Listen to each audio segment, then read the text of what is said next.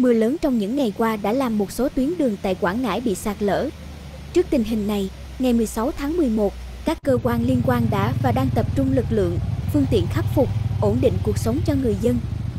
Cụ thể, trên tuyến giao thông nối tỉnh Quảng Ngãi với tỉnh Con Tum thuộc đèo Violac, một vài vị trí bị sạt lở, trong đó có một vị trí có hiện tượng đường bị nứt, sụt lún. Hiện ô tô không thể qua tuyến đường này. Công an xã Ba Tiêu, huyện Ba Tơ, tỉnh Quảng Ngãi đã phối hợp chốt chặn, phân luồng, đồng thời huy động phương tiện giải phóng hiện trường.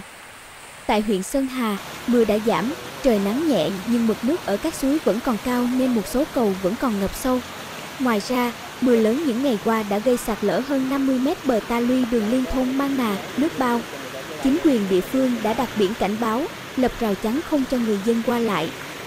Theo văn phòng ban chỉ huy phòng chống thiên tai tìm kiếm cứu nạn Quảng Ngãi, mưa lớn gây sạt lở nhiều vị trí tại quốc lộ 24, 24B, 24C, đã tràn ra mặt đường, nhiều vị trí bị ngập nước, cây bị ngã đổ, lấp rãnh thoát nước, khối lượng ước hơn 1.500 mét khối và có nguy cơ tiếp tục sạt lở.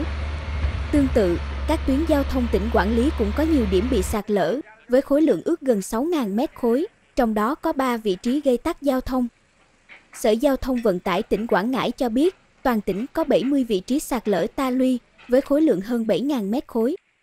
Ông Mai Văn Hà, Phó Giám đốc Sở Giao thông Vận tải tỉnh Quảng Ngãi, cho biết ngành giao thông tỉnh đã thông tuyến 3 vị trí sạt lở, đồng thời khơi thông bùn đất vùi lấp các rãnh thoát nước, thu dọn đất đá trên đường.